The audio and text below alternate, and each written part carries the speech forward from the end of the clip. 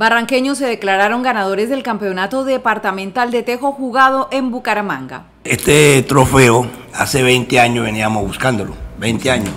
Fuimos campeones en, de un departamental y el día 24 y 25 se hizo el departamental en Bucaramanga, donde fueron 22 delegaciones y Barranca Bermeja se, trajo el título de campeón departamental. Ellos valiosamente pues la dieron toda porque había que sacarla toda y nos traímos el primer puesto. De igual forma, este equipo barranqueño de Tejo se ha destacado en otros torneos que a nivel nacional se ha desarrollado en otras ciudades del país. Bueno, nosotros hace dos, hace dos, hace dos meses estuvimos en el Nacional, ¿sí? de Ocaña y tuvimos a punto de llegar al primer puesto. Quedamos de tercero en el Nacional.